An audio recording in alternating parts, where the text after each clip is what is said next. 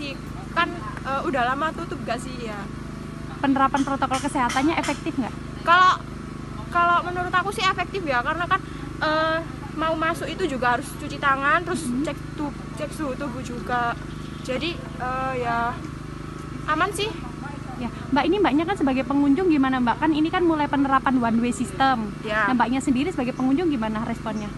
kalau aku sih ya aman biar biar aman juga kan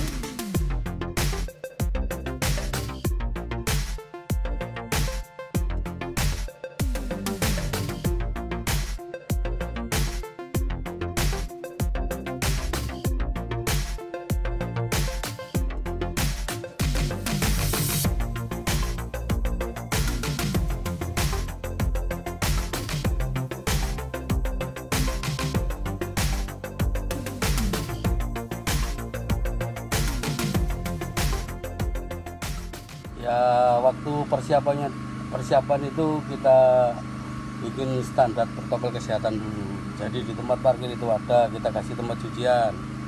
Terus di depan pintu ini ada dua tempat cucian dan sabun untuk cuci tangan. Setiap pengunjung harus wajib pakai masker. Terus masuknya juga gitu kita arahkan satu pintu. Nggak boleh nggak boleh simpangan gini. Jadi masuk satu pintu keluar satu pintu kemarin waktu mau pembukaan itu semua dicek semua jadi alat untuk eh, apa itu yang namanya untuk IoT itu sudah lengkap.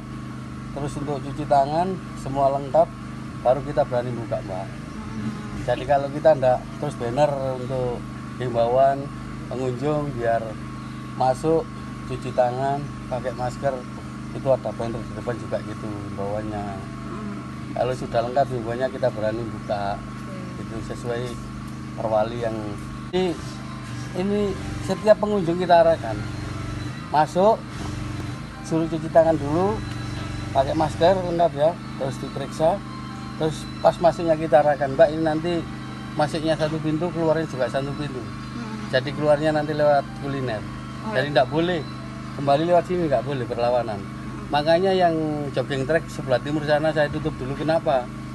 Karena kalau masuk keluarnya juga satu pintu gitu loh. Jadi nanti tabrakan takutnya ya. Nanti kalau sudah memang dinyatakan bisa untuk seperti dulu ya kita buka. Saya takutnya nanti padat di sana terus saling berlawanan nanti kita disalahkan.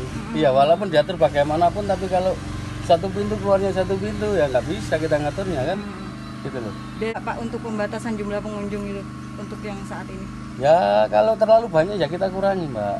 Jadi kalau kita lihat ya kalau terlalu yang keliling pak sudah terlalu anu kita stop gantian. Biar banyak yang keluar kita masukin.